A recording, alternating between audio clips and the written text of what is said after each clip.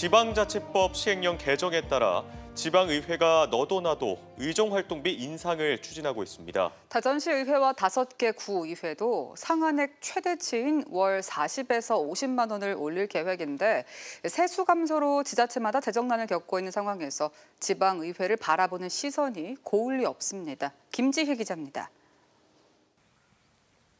대전시가 시의원들의 의정활동비를 월 150만 원에서 200만 원으로 올리기로 하고 모레 주민 공청회를 엽니다. 전국 대부분 광역의회에서 상한액 최대치인 월 50만 원 인상을 추진하는 분위기여서 대전시도 최대폭 인상 가능성이 큽니다. 20년 동안 계속 동결됐던 사항이라 지금 의정비 현실화는 좀 현실화 차원에서 지금 저기 법이 개정된 사항이거든요. 지방의원 의정비는 공무원 보수 인상률에 비례해 오르는 월정수당, 그리고 의정활동비로 구성됩니다. 대전시 의원의 경우 의정활동비 150만 원에 월정수당을 포함해 월 499만 원의 월급을 받습니다.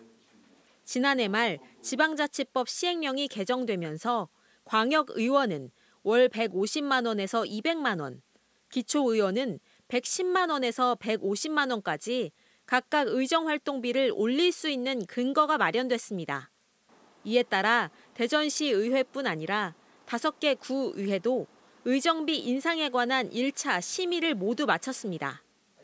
대전 중구는 의정 활동비를 최대 상한선인 150만 원으로 확정해 입법 예고까지 했습니다. 의원님들이 활발하게 의정 활동을 하는 데는 굉장히 좋은 효과가 있지 않을까라고 하는 생각이 있는 거죠. 지방 의원 전문성을 살린다는 취지지만 많은 의원들이 겸직을 하고 있고 세수 감소로 지자체마다 재정난을 겪고 있는 상황에서 지방 의원 월급 인상이 적절치 않다는 지적이 나옵니다.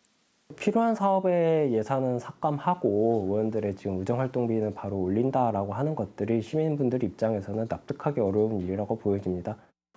여기에 세종시와 천안, 보령, 서산 등 충남에서도 의정활동비 인상을 추진하고 있어 논란은 당분간 계속될 것으로 보입니다. MBC 뉴스 김지혜입니다.